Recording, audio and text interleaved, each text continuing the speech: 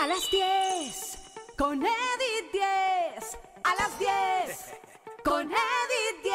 ¿Qué tal amigas, amigos de Radio TV Croc? Un gusto que estén con nosotros en este su programa a las 10 con Edith 10. Y bueno, se está hablando mucho en estas fechas sobre la muerte, las personas que no están y, y pues bueno, es un momento de reflexión, pero yo creo también hay que reflexionar de los que sí estamos, de los que venimos a la vida, de los que están a punto de llegar y eso también hay que celebrar. Y por eso me acompaña Gabriela Cebadúa, partera certificada. Gaby, un gusto nuevamente que nos acompañes. Pues a mí me encanta venir porque realmente es una niña muy linda, muy tierna, te quiero, que promueves mucho la vida. Mucha la alegría, mucha la felicidad. Así es que, Ah. chicos, quieren ser felices, tengan la actitud igual que la de Edith, Ah. animosa y estrepitosa también. Eso así. es todo. Gracias, Gaby. Bueno, qué bonita presentación. Hasta me sentí raro que ahora me presentes.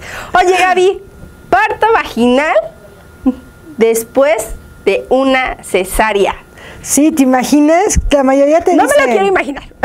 No, ya sé que hemos platicado que es complicado volverte a embarazar y es más, volver a tener un bebé por vía vaginal, pues es, es difícil, ¿no? Porque cuando no te fue un embarazo muy padre, no fue muy bonito, pues a veces esos son los miedos que tenemos que quitar cuando te vuelves a embarazar y no lo habías planeado a final del día. O la otra cara de la moneda, yo sí te pongo, yo, tú ya sabes, o sea, yo sí me quedé con las ganas de haber tenido mi parto vaginal y no por cesárea. Digo, no planeo otro bebé, la verdad, no sé qué vaya a pasar. Pero habrá mucha gente de las que nos está viendo que diga, híjole, yo sí me quedé con esa semillita, con esas ganas de ver qué pasaría, cómo sería a lo mejor la recuperación mucho más rápida y por supuesto de todos los beneficios, sinceramente, que hemos venido hablando durante todos estos programas. Bueno, mira, a final de cuentas el proceso del parto es la primera lucha que tiene el ser humano para nacer. O sea, es el primer esfuerzo, es la primera prueba que le ponen, es bajar, doblar, flexionar su cabecita, acomodarla, girar y luego salir. Si ese ser humano llega, le toca la puerta así como si fueras judicial, pues lo está sacando antes de tiempo. A veces las cesáreas son necesarias, son sumamente necesarias, como en tu caso, o en algunos casos de diabetes sumamente severa, hipertensión, pues ya no se debe Pero que sea la, sinceramente sí se los digo, que sea ya la última opción. O sea, de verdad que sea ya porque pues los médicos te dicen que a lo mejor está en riesgo la vida tuya o la de tu bebé o pero si no es así, de verdad ir con especialistas como contigo Gaby que nos puedan ir ayudando en ese laps- lapso para realmente lograrlo, hacer lo imposible para que sí sea así y por todos los beneficios que conlleva. Bueno, yo quiero comentarte que a final del día, aparte del esfuerzo, una mamá es que le hacen una cesárea, le, yo les bromeo a mis alumnas que les digo, bueno, si quieres te puedo hacer una cesárea, te prometo que no te molesta en ese momento, ¿no? No, espérate, Este, dejen que se paren, que vayan, bueno. En algunos hospitales te sedan, eh, te ponen tu bloqueo hasta por dos días, que son los dos días Sí, ¿no? críticos, te ponen una sondita en la espalda y te ponen una bombita y bueno, ya los dos primeros días que son los críticos, pues no sientes nada, pero a final de cuentas, como les digo, a ver, ¿alguna vez te han operado de algo? ¿Alguna vez te han sacado una muela? Bueno, entonces porque quieres que ahora te saquen a tu bebé, ¿no? Si siento por un lado, pues tiene que salir por el por ese mismo Claro, lado. por ese mismo. Este, y a final del día, realmente nunca vas a saber si lo puedes hacer si no lo intentas. No es lo mismo que intentes el trabajo de parto, que llegues al final del parto y que sea tu bebé el que diga, no, mami, como que no me gustó la onda, Claro. no quiero salir, no voy a salir. Nosotros tenemos un 5% de cesáreas y yo quiero comentarte que la mayoría de las mujeres que nos buscan han sido parto vaginal después de una, de dos o hasta después de hasta tres de cesáreas. Pero a final de cuentas, los bebés quieren, las mamás quieren, los papás quieren, y se hace un conjunto de, de hechos que se logra el proyecto. Qué bueno. Oye, Gaby, y hablando de otro tema que son los mitos y los miedos, que yo creo que es aquí donde abundan. Cuando ya tuve una cesárea, lo digo, bueno, por mi prima, le mando un beso, acaba de ser mamá hace tres semanas, yo le decía, pues, ha- haz parto natural, le digo, inténtalo. No, no, no, es que sabes que yo ya tuve la cesárea, me fue muy bien, la verdad ya sé como a qué voy, no quiero arriesgarme.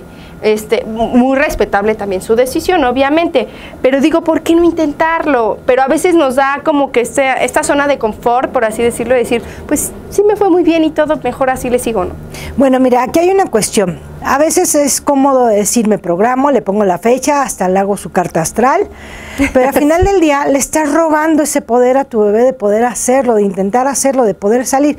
Y además psicológicamente ya se han hecho estudios en donde si hay alguna diferencia, si no hay un trabajo de parto para ese ser humano, esos apachurrones que le das con el trabajo de parto, se segrega oxitocina. Y además los niños que nacen por un parto con oxitocina natural son niños que tienen muchos más puenteos naturales, que les gusta más el deporte, que les gustan más habilidades y les gustan los retos. Hace rato antes de venir para acá me enviaron una boleta de una nena que acaba de entrar a primera de primaria y tiene un promedio de 9.7. Wow. Y después de la escuela se va tres horas a gimnasia. Y le gusta. Antes de entrar a la escuela, ya ella iba a gimnasia. O sea, se puede decir que a lo mejor en comparación, pues son personas más competentes, que les gusta pues crearse retos.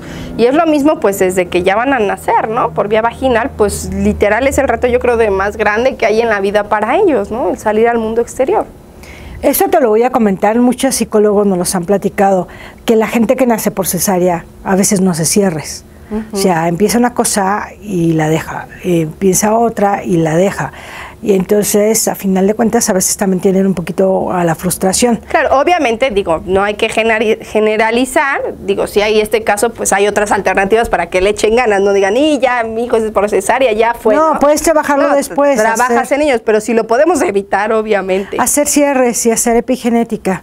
O sea, en cuanto tú sabes que ya, ok, va a ser necesaria una cesárea, porque ya me están poniendo maduradores pulmonares, porque ya es un hecho de que necesito la cesárea bueno, pues voy a entonces que platicar con mi bebé y abrazarlo más, cargarlo más, amamantarlo más y hacer esas compensaciones. Cuando me empezaron con la preeclampsia del último mes, les resumo rápido, ¿verdad, Gaby? A mí el último mes, todo mi embarazo muy padre, yo preparada para el parto natural y todo y acá.